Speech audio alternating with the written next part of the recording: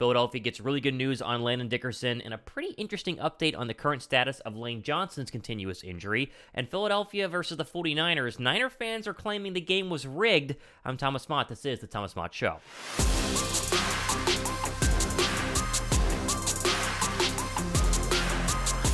What's up, guys? Thomas Mott here. Welcome to the Thomas Mott Show. A little bit later than usual here on a Tuesday. Been an absolutely wild day overall, but we need to go ahead and update you on what's going on in the National Football League, most specifically with the Philadelphia Eagles. And there's some good news. We'll start with good news, right? You guys like good news. Landon Dickerson, the injury that a lot of you guys were asking me about yesterday on the show. Well, we're going to have an update, and it's actually good news. Bleeding Green Nation has it. You see it on your screen. Quote Eagles starting left guard Landon Dickerson is expected to be available to play in Super Bowl 57, according to a report from Jeff McLane. Good news for Philadelphia. Dickerson suffered an arm injury that caused him to exit early during the Birds' NFC Championship game win over the San Francisco 49ers.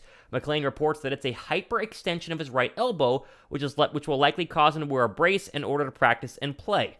The Eagles will be happy to have Dickerson in the fold. He made his first Pro Bowl this season while ranking 16th out of 88 guards graded by PFF Focus, or PFF, uh, minimum of 20% of snaps played. Dickerson was actually PFF's highest graded offensive player in the win over the 49ers. His backup, meanwhile, was the lowest graded offensive player. Andre Dillard ranked 71st out of 141 guards graded by PFF. With Dickerson set to play, the Eagles are on track to have all 22 starters for the Super Bowl. To be so healthy this late in the season is pretty incredible, end quote. That last line there is 100% accurate. To be this healthy this late in the season, we didn't even talk about Avonte Maddox looking very good against the 49ers. It's all incredible, whereas you juxtapose that with the Kansas City Chiefs, and they are dealing with a plethora of injuries that we talked about on yesterday's show. So be sure to go back and check that one out. Now, the Dickerson injury, again, my take on this is that it's not going to be a big deal. Two weeks, hyperextension of his right elbow. They're going to brace it. He's going to play. He'll play through the pain, and he should play the entire Super Bowl. Now, if you were to have to go ahead and come out, as mentioned here, you do have a pretty good fill in at left guard. I know PFF rated, uh, ranked Andre Dillard 71st out of 141 guards, but he didn't play a lot. But when he did come in and fill in for Dickerson, I think he did a pretty decent job overall. And so, not necessarily a concern or a worry there, but at least we know that Dickerson is going to practice, most likely will play, and is not going to be any sort of uh, chance of missing the game on two Sundays from now, which is huge because Philadelphia, especially on the interior offensive line, is going to need every bit of power they can get to not only dominate, but also slow down Chris Jones, who might be the one big defensive game wrecker that could cause some serious problems for Philadelphia if that were to actually be the case. So, thumbs up for Dickerson uh, for actually being seemingly good to go and be able to play. Now, before you go ahead and move over here to Lane Johnson and the 49ers in just one second, I have mentioned I am giving away this towel. Uh, sorry, this towel, the NFC Championship game towel that was given out at Lincoln Financial Field when I was in attendance on Sunday. I have an extra one. This one stays on my wall. I have an extra one sitting over there, and I'm giving it to one of the members of this show. A lot of you guys were messaging me down below in the comments of yesterday's show saying, hey, Thomas, send it to me. Well, remember, you have to be a member, and there are only about you know a couple dozen of you guys who are members of the show, which you still have time to do. Go down below, click join, become a member. By the end of the week, I'll pick a random member and send it to them if they live in the United States. But that's how you get a chance to win the towel. You got to be a member of the show, so join down below. Okay, over here to Lane Johnson. I thought the Delaware Online did a very interesting write up on the situation with Johnson. You know, we talked about, oh, he's healthy, he's playing, he's looking fine. That is all true, but he's definitely playing through some pain. And the fact that he was able to not only dominate on Sunday against Nick Bosa, there's some really good tape on Twitter, uh, which you should be following me at Real, at Real Thomas Mott. Really good tape of him dominating on Twitter. Uh, he was actually pretty banged up and still a little bit hurt. Here's this quote.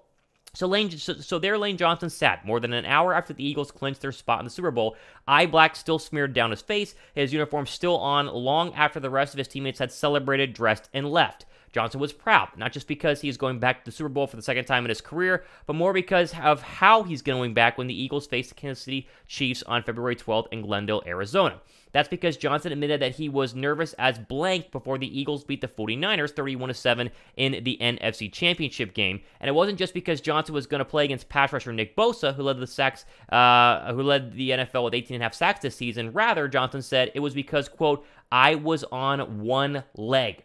There are so many unknowns as to what Johnson is trying to accomplish by playing through a torn adductor muscle in his groin area that needs surgery. The injury could resurface at any point, leading to excruciating pain. And Bosa, the likely defensive player of the year, was certainly ready to take advantage. End quote. And so, a little bit of a glimpse into what Lane Johnson is actually playing through right now. I was on one leg, is what he said one leg. Now, again, the way the abductor works, I'm not going to get into the whole, you know, biology or the anatomy of the situation, but it does cause excruciating pain. And like the article says here, it could go at any time. The fact that one, he was able to play through one leg, but two, play so darn well through one leg gives me a lot of hope that he should be able to play very close to not 100% physically, but 100% mentally two Sundays from now when Philadelphia travels to Glendale, Arizona. What's interesting about this story is it does tie into what we just mentioned with Landon Dickerson. Had Landon Dickerson gotten injured or not being able to play in the, in the Super Bowl, then Dillard would have to for sure be the left tackle, meaning that the backup for Mailata slowly goes down the list. Driscoll, though, will for uh, officially be the backup right tackle for Johnson as he had been earlier on this year. And so the idea that you could, you know, move Dillard over to right tackle if Dickerson were going to go ahead and play to replace Lane Johnson does not seem to be the case. It will be Dickerson who would fill in if there was a situation where Johnson was unable to either play for whatever reason in the Super Bowl or finish the game as well. But I think it looks like, again, the fact that he was able to play on one leg and play so darn well is really, really good news. Okay, over here to our final story of the day, a funny one. We'll call it the NFL national story of the day because it does tie into the 49ers. Bleeding Green Nation has the write up here, and the title says 49ers players felt like the NFL told refs to get Philly to the Super Bowl it's interesting overall, but when you go ahead and read the article, it's um it's it's one worth you know kind of laughing at. So this comes from the San Francisco Chronicle. Quote: Then McCaffrey's amazing run tied the game, instilling a sense of hope. We needed like five more of those. A dejected McCaffrey said later. The Eagles responded with a 14-play, 75-yard touchdown drive facilitated by three defensive penalties that negated potential stops. Suffice to, suffice it to say, the Niners weren't thrilled with the officiating. It felt like once Purdy got hurt, someone at the league called down and said, "Make sure the Eagles get to the Super Bowl and not them." One Niner player told me I'm withholding his name because he would prefer to keep his money rather than paying a fine in the NFL. That may be a bit over the top, but let's just say he wasn't the only frustrated person in the locker room, end quote. Now, I'm going to be 100% with you a couple of those calls did go in favor of Philadelphia, and that happens from time to time in the National Football League. But the idea that there was a situation where the NFL was trying to make sure that the Eagles were going to go to the Super Bowl and that's why the Eagles won is one of the dumbest things I've ever heard. Now, you can feel that way as a 49er player, but if you actually watch the game, or I would argue played in that game, Philadelphia dominated. They dominated that game. And yeah, it was 7 7 there for a time. But did you really think at any moment after Brock Purdy was injured, the 49ers had a legit chance to win that game? The answer was no. And in the end, Philadelphia dropped, what, 31 points on them? You're telling me that even with they didn't get a couple of those calls going the wrong way if you're the 49ers, that they would have been able to overcome being down by three or four touchdowns by the third quarter? It's, it's just ridiculous. It's not even something to go ahead and consider, but fun that, you know, the 49ers felt like they could have done it had it not been for a couple of bad calls. No, if the ending was 31 28, then maybe you can argue a couple of bad calls cost you the season. But when it's 31 7, it's a little bit different. Okay.